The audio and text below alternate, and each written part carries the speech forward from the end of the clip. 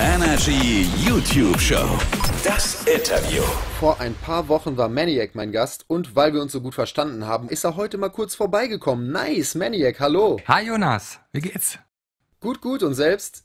Ja, ich, ich fühle mich super. Du hast mal wieder eins deiner Meisterwerke hochgeladen. Das ist richtig. Über Berlin. Du kannst so viele Sachen in Berlin machen. Das ist unglaublich. Und ich wohne schon seit zehn Jahren hier und trotzdem habe ich noch nicht alles ausprobiert. Und das wollte ich mit meinem neuen Video mal ändern. Ja, dann hau mal raus. Was hast du denn so erlebt? Ich war an drei verschiedenen Orten und zwar einmal in Potsdam in der Biosphäre. Da kommt man super einfach hin, wenn man mit der S-Bahn Richtung Hauptbahnhof Potsdam fährt, dann von dort mit der Tram ein bisschen weiter und dann ist man in der Biosphäre. Ein grandioser Ort, also wirklich ein riesengroßer Dschungel direkt neben der Großstadt Berlin und es ist, es ist richtig toll, es ist schön warm, es sind viele Tiere da, es gibt eine Unterwasserwelt. Es hat so viel Spaß gemacht. Dann war ich auf einer Tortenschlacht, das ist am Ostkreuz. Dort kommt man auch super einfach mit der S-Bahn hin, dann drei Minuten zu Fuß. Da kann man sich mit einem Freund zusammen Torten in die Fresse schlagen oder man kann noch einen Raum zerstören oder Action Painting machen. Und zum Schluss war ich noch am Alexanderplatz, um vom Hochhaus zu springen.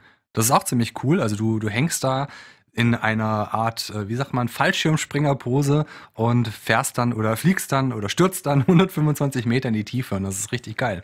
Hat echt Spaß gemacht. Und alles mit der S-Bahn zu erreichen. Ja, ich habe das gesehen. Du warst die ganze Zeit mit der Bahn unterwegs. Warum? Ähm, ganz ehrlich, ich wohne in Berlin, weil ich kein Auto haben möchte. Ich bin super glücklich darüber, dass wir so ein geiles Nahverkehrssystem haben und fahre super gerne mit der S-Bahn durch die Gegend. Du sparst auch unglaublich viel Geld im Vergleich zum Auto sowieso. Aber wenn du jetzt ein Abo zum Beispiel bei der S-Bahn hast, dann sparst du auch nach zweieinhalb Monaten im Vergleich zu den normalen Monatskarten.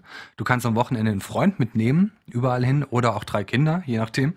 Und ähm, ja, also ich, ich mag das einfach. Bei uns gibt's zurzeit was zu gewinnen, Leute. Gewinnen! Einfach mal in unseren anderen Videos schauen. Da gibt es das S-Bahn-Quiz und dort kann man die VBB Umweltkarte im S-Bahn-Spar-Abo abstauben. Also los, Freunde!